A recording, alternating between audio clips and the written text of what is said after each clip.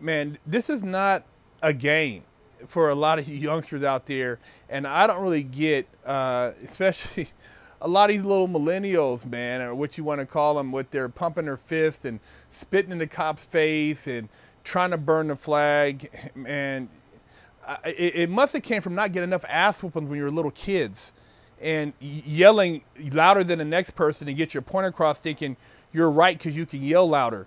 You know, that's not how shit gets done over here in America, man. And we told you a long time ago when you go around and you want to play little terrorist games, you want to walk around and threaten people and, you know, think that you're, uh, you know, you, you got free reign here and you're entitled, and then you're going to go back and have your little impossible burger and your latte. Dude, it don't work like that over here. Your ass is going to jail, man. Damn.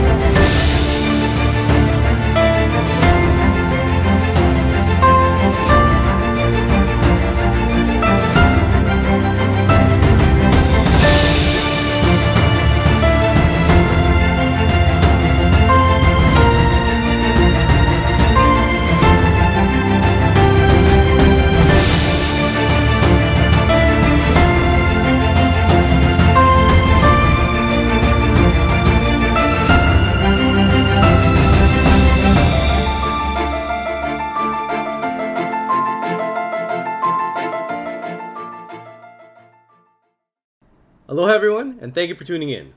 I'm Executor Bubbles, bringing you another episode of Wonderful Wednesdays. Now, earlier this week, you know, I was watching YouTube. This guy, uh, B Tatum, and in his video, he mentioned that you know the YouTube algorithm's been pushing up videos and stuff with anti-Trump titles. So I was like, eh, what the heck? Let's test it out. So if you're here because of that, I'm sorry, but y'all got clickbaited. Honestly, though, you know, do stick around. We do share a lot of good news over here, and if you're here for the good news, don't worry about it. We got a lot of it. But before we get into that, kind of wanted to go over this article that I read from the Independent that brought up the Facebook algorithm.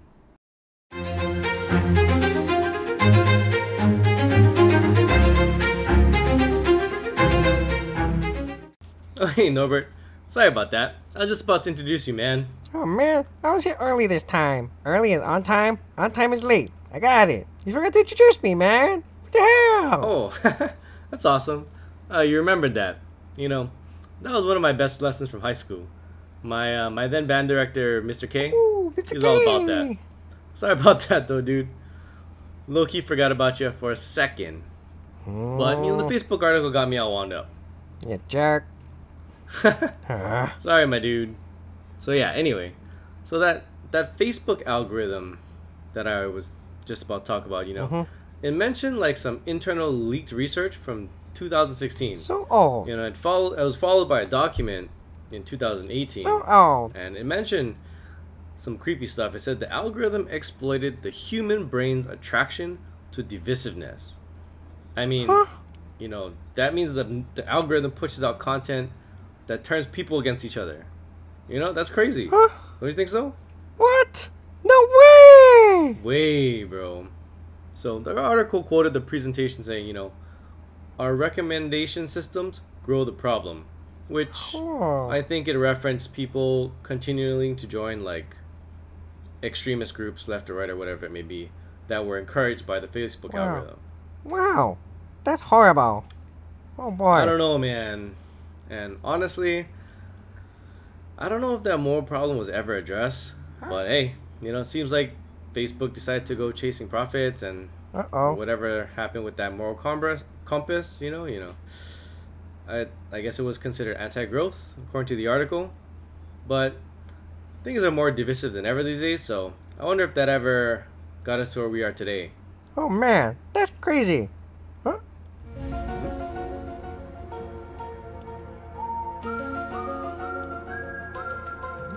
Hmm. Oh.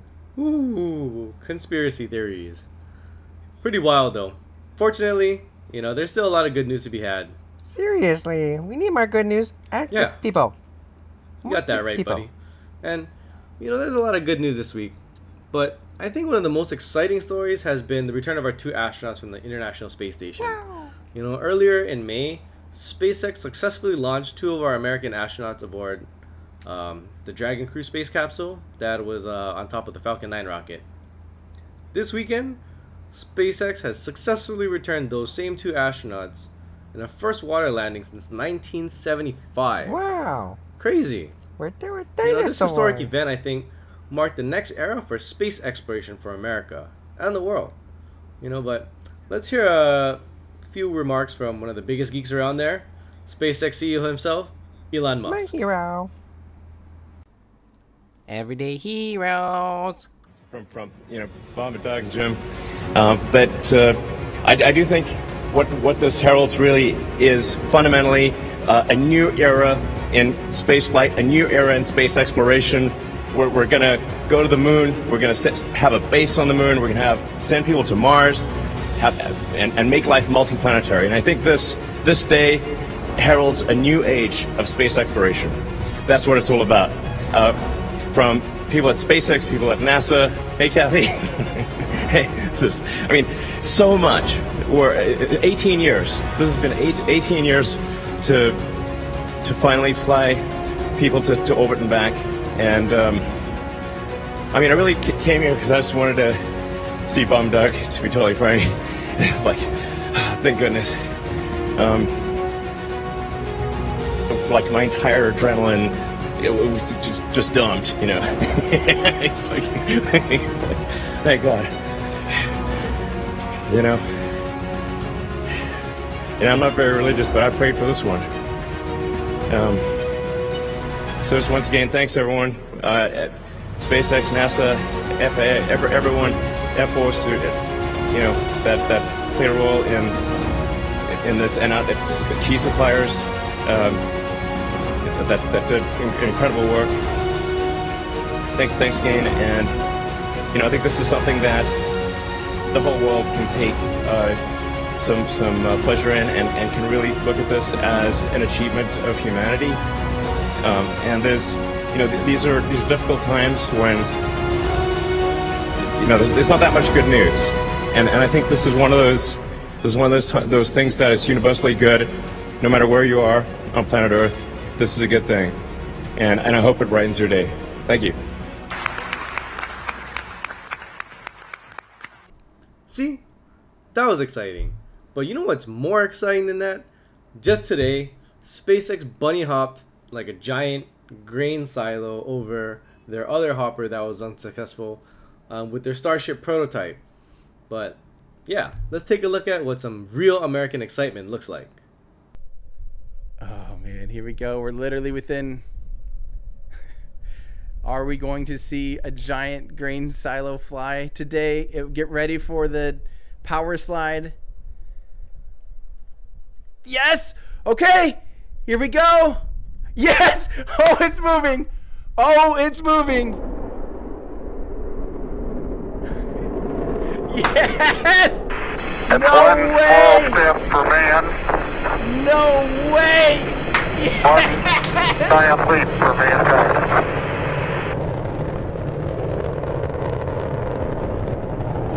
Look at that! Let's see those landing legs! Yes! I saw the landing legs! Look at that!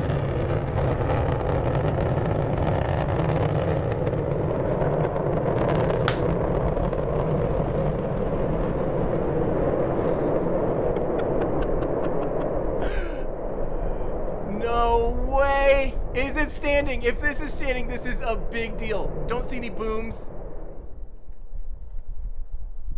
No way! It freaking happened, and I don't see any booms, and it is standing. It is standing. Yes. See? Wasn't that so much better than this?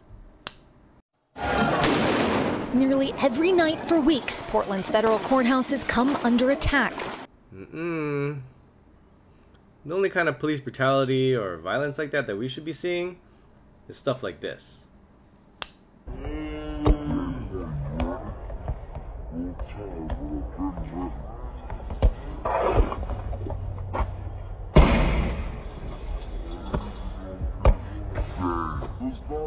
Damn. Whew. But yeah, bro. This past week has been an absolute achievement for humanity, you know. It's definitely brightened my day. What do you think, Norbert? Definitely, man. But Mr. Officer burned that guy hard. Getting back on track, though. Space is way cool. Elon Musk is on fire! The thing is that cool? Dude, you're such an Elon Musk stan. so are you, bro. What the heck, man? Eh. I didn't say I wasn't, dude. Eh. But yeah, so anyway, our next story takes us back out to Italy. Um, back in April, at the beginning of the coronavirus pandemic, there were two young girls that were caught uh, playing tennis from two rooftops.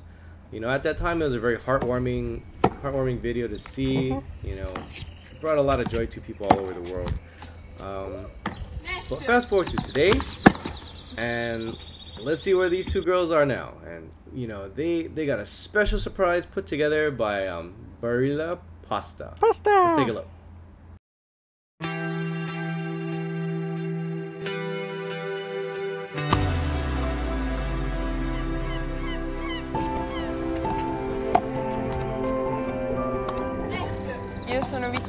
Ho 13 anni. Io sono Carola, 11 anni. Durante la quarantena abbiamo deciso di provare a palleggiare da un terrazzo all'altro. Ma non pensavamo che questo video potesse avere così tanto successo.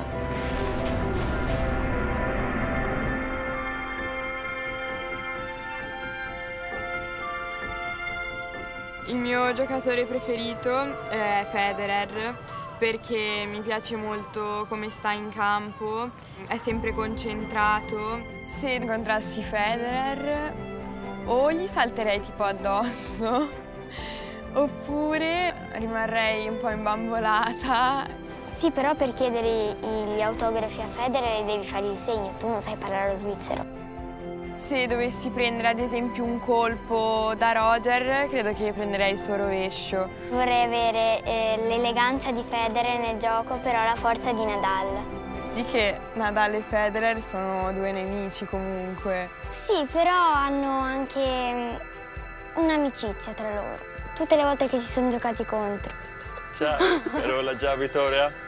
Come stai? Non ci possiamo credere! C'è Federer sul nostro terrazzo. Shall we play it or, no? Eh? Yes. Gioca a tennis con noi. Cioè, incredibile. Io, io, io svengo. No, no! C'è Federer sul nostro terrazzo! Quello forte! Ragazzi, questa qua è la racchetta di Federer. E questo è Federer! Stiamo andando a giocare con Federer, ve lo giuro. Non ci credo. Shall we have some fun? Ready to play? Yeah? Here we go.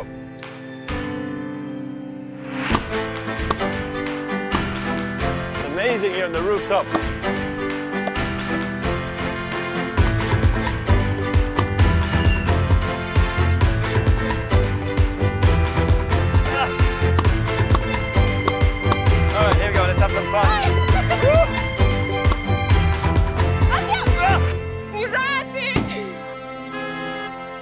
Macchina.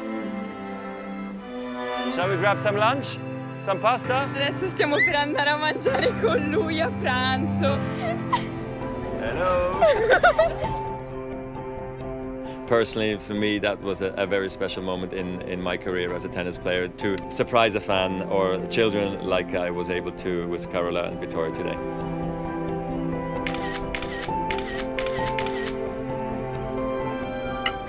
Grazie. Buon appetito. Buon appetito! was great and I've played in many cool places around the world but this one is definitely up there for me as a, as a special experience It showed that we can play it anywhere and have fun with it. So I had the best time, honestly. Ve lo giuro, è vero, eh. Non è un manichino, giuriamo. No manichino.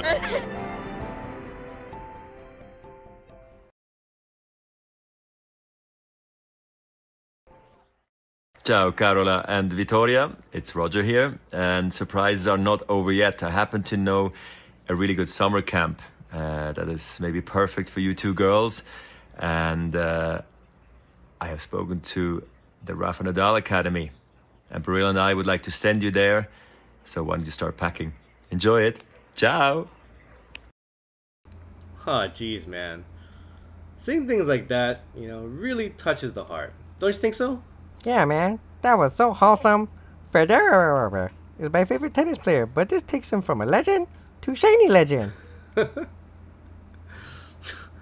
right, that was nerdy, but um, yeah, man, you know that wholesome content. It's so wholesome. It's like tickles your heart. What a loser.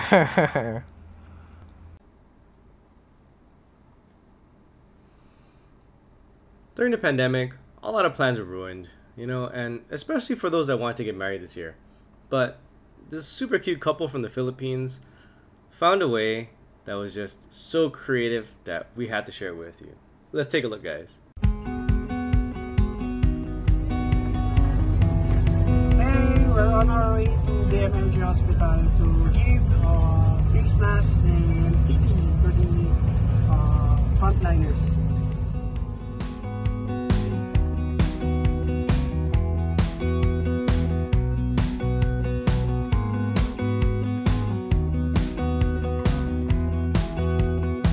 I, I call it uh, hashtag wedding with a purpose.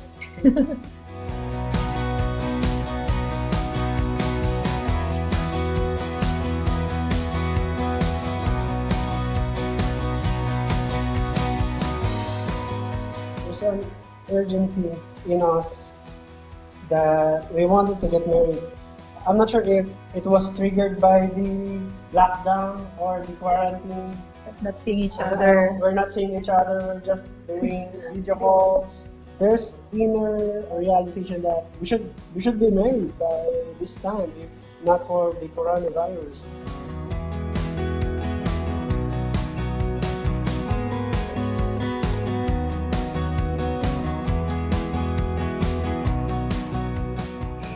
When we look into God's Word, we discover two major things concerning marriage. God is the initiator of the institution of marriage. With all honesty, it was uh, less worries, less stress.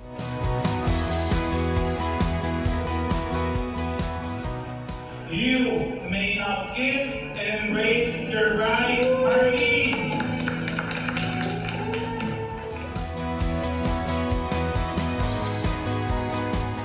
They were able to witness the, Yeah. the ceremony through the technology that we had. And for me, it was perfect.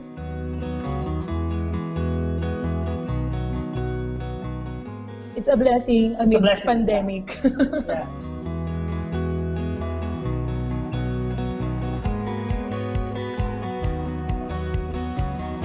Here in the Philippines, there's a lot of appreciation for our frontliners. I just wanted to honor God with our marriage. JCI Philippines, if you're out there listening, these two, I think, would make amazing JCI members. I call on you to reach out to them. Aloha. we felt so blessed seeing them uh, with their ha- happy faces, their smiles, greeting us happy wedding, and uh, that's a bonus after the wedding.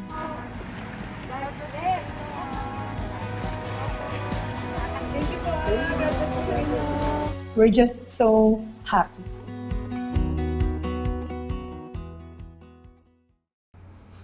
Wow, Norbert. You know, I think that's one of the most selfless things I've seen since this pandemic. And there's just been so many, you know?